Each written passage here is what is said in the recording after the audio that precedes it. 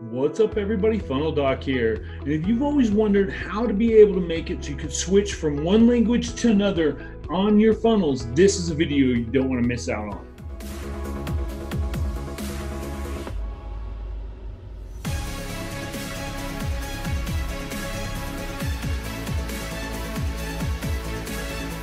Some dude, Jeffrey M. Benek, he just um, got a ClickFunnels tattoo. What?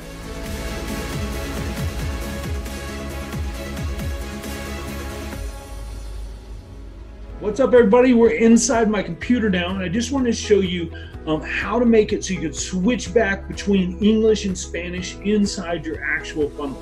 Now, a funnel is just a simple website that's designed to either get you more leads or more sales.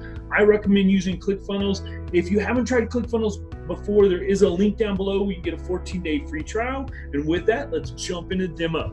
So, what we have now is as you can see here, this is all written out in Spanish right here. Um, it's not all the way through. I didn't go ahead and make the entire funnel into um, Spanish, but I went ahead and translated a couple here of the verses so that you get the gist. Now you'll see at the top there's a button here.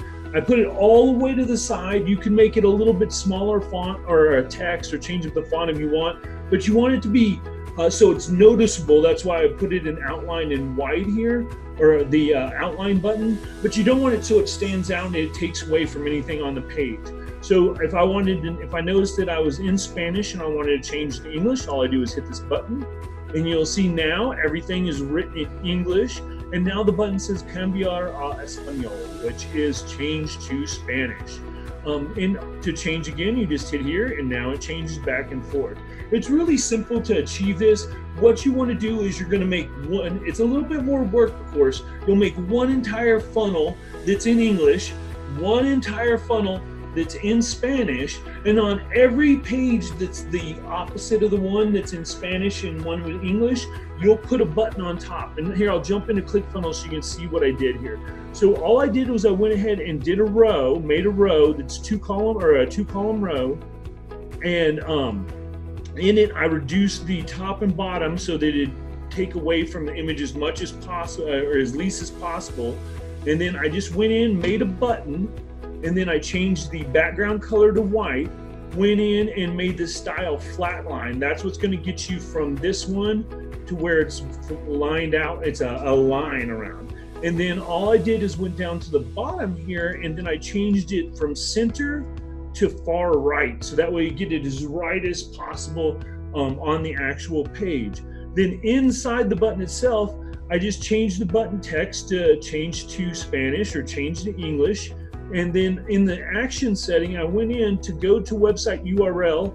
I grabbed the other URL for the other page. So you can't do a split test. This has to be to a whole different funnel, but the um, the twin page of it in the other um, other language. I just got that URL, pasted right here. Make sure you open in the same window. That way it gives the illusion that you're switching it that it's not going to a whole nother funnel. See, this way you're allowing it to, to, to look like it's just going, oh, wow, I just clicked the button, it just changed. What they don't know is they're actually being sent a whole different funnel with everything in Spanish or everything in English. I hope this helped you out. Um, I get this question a lot. It's pretty simple fix, but I want to make this video so you guys can see. There is a share link down below if you'd like to get this actual funnel so you could take it and copy off of it.